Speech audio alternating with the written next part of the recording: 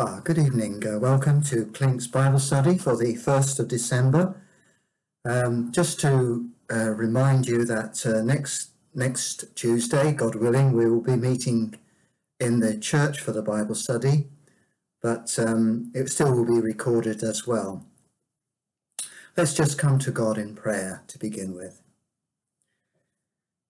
O oh Lord God, we thank and praise you that you are a good a kind and a loving God, a God who loves to bless us, a God who cares for us far more than we can ever understand. We thank you that that you, you gave your only begotten Son into this world, that he came and lived that perfect life and died on that cross so that we can have peace with you so that we can be reconciled to you and have a relationship with you. And we thank you for your word. We thank you for the many things it teaches us, and even from the characters that we read about in your word, that we can learn something from them. Lord, we are conscious at this time there are many people suffering, even within our own fellowship, and we pray that you'll be near to them at this time Comfort those who mourn. Be with those who are unwell or facing many difficulties in their lives. We think of others who um, have big events happening in their life. We think of Will and Beth as they will be moving this week and Cornelia with her operation. Pray you'll bless them, Lord, and be with them in their new home. Father, we pray you'll be with us now as we look into your word. We ask this in the name of Jesus. Amen. I want to begin with two questions. Firstly, what can we live without? And secondly, what cannot we live without? You know, the government have determined that we can't live without Christmas. And the prospect of a winter without Christmas is as bleak as Narnia, uh, as Narnia appeared in The Lion, the Witch and the Wardrobe. I want to return this evening to the story of Abraham, which I began looking at in August. You may have forgotten about that, but let me first read a brief summary that Stephen gives about of Abram's life in Acts chapter 7, verses 1 to 5, and then we'll turn to Genesis chapter 12, verses 1 to 3. And this is Stephen before the Jewish council, the Sanhedrin, um, just before he was martyred, giving a history of Israel. And Stephen said, Brothers and fathers, hear me. The God of glory appeared to our father Abraham when he was in Mesopotamia, before he lived in Haran, and said to him, Go out from your land and from your kindred, and go into the land that I will show you. Then he went out from the land of, the Chaldeans, and lived in Haran. And after his father died, God removed him from there into this land in which you are now living. Yet he gave him no inheritance in it, not even a foot's length, but promised to give it to him as a possession and to his offspring after him, though he had no child. And then just turning over to Genesis chapter 12. It's an important uh, chapter in the book of Genesis, an important new um, era begins in Genesis chapter 12. Now the Lord said to Abram, that was his name, his name at first, he was called Abraham later. Go from your country and your kindred and your father's house to the land that I will show you, and I will make of you a great nation, and I will bless you and make your name great, so that you will be a blessing. I will bless those who bless you, and him who dishonors you I will curse. And in you all the families of the earth shall be blessed. So Abraham, or Abraham, as we read there, came to that place in his life, as Jim reminded us on Sunday from, in, from Psalm 90, where in effect he prayed, Lord, teach me to number my days, that I may apply my heart to wisdom. He was in the middle of his life at this time. He was willing, he became willing to do without all the pleasures of sin that he could have enjoyed in the city of Ur. It's been described as the New York or the Tokyo of the ancient world. And he was made willing to turn his back on all the idolatry in Ur. We know from our archaeology and also from the Bible in Joshua chapter 2, 20, 24, verse 2, that his father's family and possibly Abraham himself served other gods there in Ur. The thing that he had now found that he couldn't live without was a relationship with the living God. And along with that relationship, he could not live without the promises of God, especially the promise of a Saviour. So it's appropriate that we consider Abraham as we, in this season of Advent leading up to Christmas. Jesus once said that Abraham rejoiced to see his day. And Hebrews chapter 11 says that people of faith in the Old Testament saw these promises and they greeted them from afar. So, firstly, how does a person come into a relationship with God? Romans chapter 10, verse 17 says, Faith comes by hearing, and hearing by the word of God. That's why we believe it's important to teach children the Bible, to distribute Bibles in schools and hotels and prisons, to give out Christian literature, and to preach regularly the Word of God, because God uses that to bring people to faith in Him and in the Lord Jesus Christ. But what about Abraham? Even the first five books of the Bible hadn't been written when he was alive. He may have had some knowledge of God through his family because he was a descendant of Noah's son, Shem. Um, but although, as we said, it by his day, the city where he lived was given over to idolatry. However, we read in Acts chapter 7 that the God of glory appeared to him. And this was while he was living in Ur. Perhaps this was none other than the eternal Son of God appearing to him in some form before he came to, came to earth 2,000 years or so later on as a man. There are a number of such appearances in the Old Testament, especially in the book of Genesis. The technical name for them is a theophany or a Christophany. But um, that's how the, the God of glory appeared to him. Perhaps it was like Saul of Tarsus on the road to Damascus in Acts chapter, um, Acts chapter 9, how the Lord Jesus, the risen Christ, suddenly appeared to Saul. And like Saul, Abraham began a relationship with God. And we could say that, behold, he prays, he really prays. Now, the evidence of this relationship is that he obeyed God's call to leave behind Sin City. Terah, his father, his wife Sarai, and his nephew Lot came with him. They went up the Euphrates Valley from Ur as far as Haran, and they seemed to settle there. And that's where Terah, his father, died.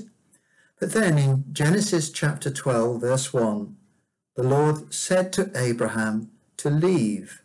And this, this may well have been a renewal of his original call in Ur the Chaldees. So at the age of 75, probably about halfway through his life, they did live a long time in the in the book of Genesis, there's some of those um, men and women. Abraham and Sarai, or Sarah, and, and Lot, his nephew, with all their possessions and all their servants, they set off on the adventure of their lives to go to Canaan, the promised land. One aspect of Abraham's relationship with God was worship. Wherever he went, he set up an altar. In Genesis 12, in verses 7 verse, uh, and verse 8, and then in chapter 13, verse 4, we read Abraham building an altar. In fact, these were probably the only permanent structures that Abraham built because he lived in tents for the rest of his life. And implied in building altars is animal sacrifices the shedding of an animal's blood. Where this, and this is easy to show because, because many years later, when God said to Abraham to take his son Isaac and go to the mountain of Moriah and there offer him as an offering, it was an ultimate test of his, his faith. Uh, Isaac said to Abraham, when they'd got so far on the journey, Where is the lamb for a burnt offering. So obviously Isaac had grown up. It was his expectation that when um, Abraham made an altar, offered things on an altar, there was also a sacrifice on that altar. And throughout the Old Testament, this was the way of coming to God. But it only pointed forwards to that ultimate sacrifice of the Lord Jesus Christ on Calvary. A hymn writer, Isaac Watts, put it like this Not all the blood of beasts on Jewish altars slain could give my guilty conscience peace or wash away its stain. But Christ, the heavenly Lamb, takes all our sins away, a sacrifice of nobler name and richer blood than they. I also said that Abraham couldn't go without God's promises. And that promise in chapter 12, verses 2 to 3, it's a foundation promise. It's developed throughout the Old Testament and even in Abraham's life as well. And it finds its, full, its fulfillment in Christ. It's been said that the key to understanding Abraham is the covenant that God made with him. A covenant is another name for a promise. God undertakes to do things for Abraham. It's all on his part. If you notice when we read those verses from uh, Genesis 12, that the I wills that um, God said he would do. I will make you a great nation. That, of course, didn't happen until Moses took the children of Israel out of Egypt. I will bless you and make your name great. Abraham's name is great even today, even amongst Muslim people as well. And you will be a blessing. And I will bless those who bless you and curse those who curse you. And then last of all, at the end of verse 3, we read these words and in you all the families of the earth shall be blessed. It's here that it points forward to that to that birthday on, on Christmas Day. As I say, this last part fulfill, uh, finds its fulfillment in Christ. Paul says in Galatians chapter 3, verse 8, and he quotes this verse, and the scripture, the Bible, foreseeing that God would justify the Gentiles by faith, preached the gospel beforehand to Abraham, saying, In you shall all nations be blessed. God's salvation was not an afterthought. In fact, it began in an eternity in the past. It was announced in embryo in Genesis chapter 3, verse 15, after man fell in the Garden of Eden, and it took a further big step forward in Abraham, We may look at that in more detail on another occasion, but just for now, let us remember that these promises fueled Abraham's faith. By faith, he went to live in the land of promise, Hebrews 11, verse 9 tells us. But secondly, having a relationship with God means that we will grow in faith. We know from the natural world uh, that evidence of a plant being alive is growth. Perhaps it needs to grow beneath the surface, first of all, for roots to develop before shoots will grow above ground. But an evidence of a living relationship with God is spiritual growth. Abraham grew in his trust in God until it reached a height in, in chapter 2 of Genesis, as we referred to before, when he offered his son Isaac. But it wasn't all plain sailing. The Bible is honest about its heroes. Abraham had his failures. Uh, we considered that last time when he went down into Egypt at the end of chapter 12. Um, but then on his return to the land of Canaan, he was restored in his relationship with God. And there we see a generous hearted man, letting Lot choose uh, first where to live because the, the land couldn't sustain both of them and their flocks and herds. and Lot lifted up his eyes and he was attracted to the plain of the Jordan. It was a lush, a lush land. It was like the land of Egypt. Uh, remember, he'd been down to Egypt with Abraham and and it, and he saw that, oh, this would be good to live in, the Jordan Valley. But it was to be a bad choice because it brought him near to Sodom. And Sodom, we are told, was one of the most wickedest places at that time. And then in chapter 14, which is where I want to end this time, he had, Lot had actually settled in Sodom. Not, only had he pitched his tents near there, but he'd actually moved into the city and settled down there. And yet the New Testament calls Lot a righteous man in 2 Peter chapter 2. But living in Sodom brought him much unhappiness and torment to his soul, and as we shall see, also some danger. Verses 1 to 16 of chapter 14 tells of a war between two alliances of kings Kings ruled over city-states at that, in those days, not over uh, large areas. And the king of Sodom's alliance rebelled against another alliance of kings, headed by a king called King Chedor, and to whom they'd been subject for 12 years. King Chedorlaomer's alliance went on the warpath. They wreaked havoc through the country and uh, even archaeology, we're told, has discovered some evidence of this, of this campaign. But eventually they caught up with the king of Sodom, Sodom. They captured him and, and all the booty with him, and including Abraham's Lot, Abraham's nephew Lot. And Uncle Abraham heard about this. He didn't say, oh, well, it's his fault. He shouldn't have lived in Sodom. Or, well, God is sovereign. He can deal with Lot, and I'm sure Abraham knew something of God's sovereignty, how he had overruled in his circumstances in the land of Egypt. But no, despite that, he went into action. He organized a rescue plan and successfully defeated a larger force of Chedorlaomer and he rescued Lot and all the possessions of the king of Sodom. A sign of Abraham's growth is his relationship with God. And in his relationship with God was his concern for Lot. And I'm sure he must have prayed for Lot a lot, if you'll excuse the pun.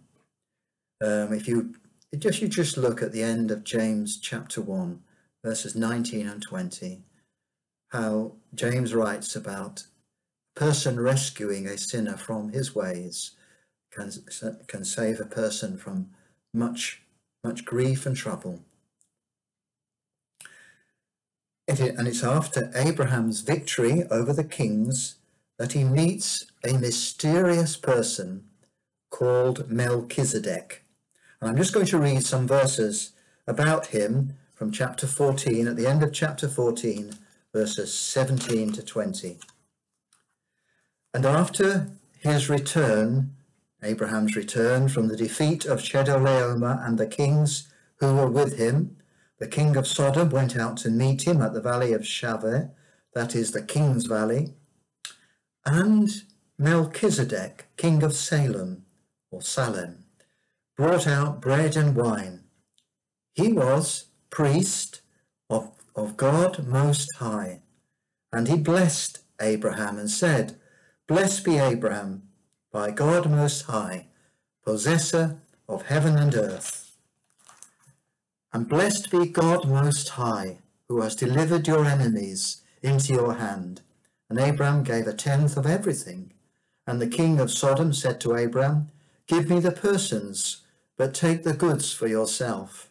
But Abram said to the king of Sodom, I have lifted my hand to the Lord, God Most High, possessor of heaven and earth, that I would not take a thread or a sandal strap or anything that is yours, lest you should say, I have made Abram rich. I will take nothing but what the young men have eaten, and the share and the share of the men who went with me. Let Aner, Eshcol, and Mamre take their share. Various views have been put forward as to who Melchizedek is, uh, but we'll just keep with the scripture.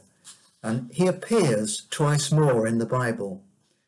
Firstly, in Psalm 110, Psalm is clearly a mess- messianic psalm. It's all about the Lord Jesus Christ. It's referred to in the New Testament a number of times. Um, for example, Peter quotes from it on the day of Pentecost in Acts chapter 2, and he applies it to Jesus. But in verse 4 of this psalm, speaking about Jesus, it says, The Lord has sworn and will not change his mind. You are a priest forever, after the order of Melchizedek. And the book of Hebrews takes this up in chapter 7. Melchizedek's name means King of Righteousness. And then he is also King of Salem. Salem is the old name for Jerusalem, and it means peace. And who else but the Lord Jesus is King of righteousness and King of peace? Hebrews 7 goes on to show that Melchizedek was like Jesus. He was both a priest and a king. In Old Testament times, a priest could not be king, and a king could not be priest. But Melchizedek was both, and so is Christ. Let me just read Hebrews 7, verse 25 to you, speaking about Jesus. He is able to save to the uttermost those who draw near to God through him, since he always lives to make intercession for them. There's no one too hard for Jesus to save. But let's return to Genesis chapter 14. And although Melchizedek is greater than Abraham, Nevertheless, he blessed him. blessed be Abraham by God Most High, possessor of heaven and earth, and blessed be God Most High, who has delivered your enemies into your hands. That name, God Most High, El El Elyon in, in the Hebrew, is one of the names that, uh, names of God that occurs in both the Old and New Testament. For example, Proud Nebuchadnezzar in the book of Daniel was told by Daniel that God will punish his pride. And Daniel said, Till you know that the Most High rules in the kingdom of men and gives it to whom he will. I wonder if President Trump ought to hear those words. A prophecy against the king of Babylon in Isaiah chapter 14, who said, I will make myself like the Most High. And God said he will be brought down. And some even see behind this prophecy Satan himself. And then in Luke chapter 8, Jesus heals a man called Legion who was possessed by many devils. The demons recognize who Jesus is. They cried out through the man, What have you to do with me, Jesus, Son of the Most High? They recognized Jesus' authority and trembled. And how different the response of a young unmarried woman living in an out of the way place called Nazareth. And the angel Gabriel visited her and said, Do not be afraid, Mary, for you have found favor with God. And behold, you will bear a son, and you shall call his name Jesus. He will be great and will be called the Son of the Most High. Mary said to the angel, How will this be, since I am a virgin? And the angel answered her, The Holy Spirit will come upon you, and the power of the Most High will overshadow you. Therefore the child to be born will be called Holy, the Son of God.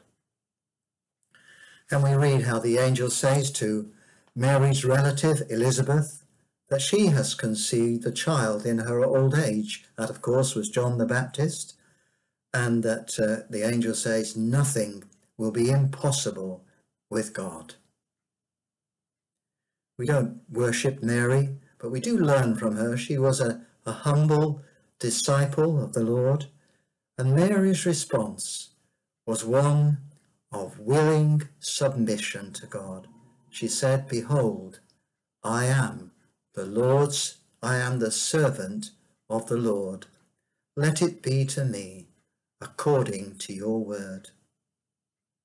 That's the kind of response I believe Abraham gave.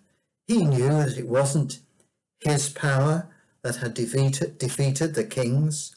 It was the power of the Most High. Abraham knew that his life was in the hands of God, or hands of God Most High. What a wonderful thing it is to know that you are in his hands. I don't think that the God of glory will appear to you in the way he did to Abraham.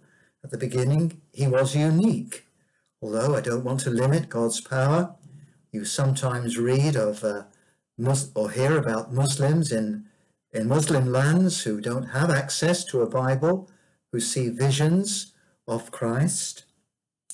But he may come to you through his word and call you to rise up and follow him if he has not done so um, already in your life.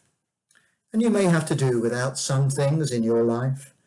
Abraham wasn't interested in the king of Sodom's bargain, who said, You can have the goods and I'll take the people. Abraham wasn't hoodwinked by that. He knew that the king, king of Sodom might later say, Well, it's me who made Abraham rich. God wants to bless us, especially with the gift of his salvation. This is how the psalmist puts it in Psalm 32, verses 1 to 2. Blessed is the one whose transgression is forgiven, whose sin is covered. Blessed is the man whom the Lord counts whom the Lord counts no iniquity, and in whose spirit there is no deceit. God, God willing, we will look at that more closely as we consider uh, Genesis chapter 15 next time, which we could say is about the reason for Christmas. Let's just close in prayer. Thank you, Lord, for your word. Thank you for the life of Abraham. Help us to learn from this great man's life and how it points to the Lord Jesus Christ. We ask and pray in the name of Jesus, that one who ever lives to intercede for us. Amen.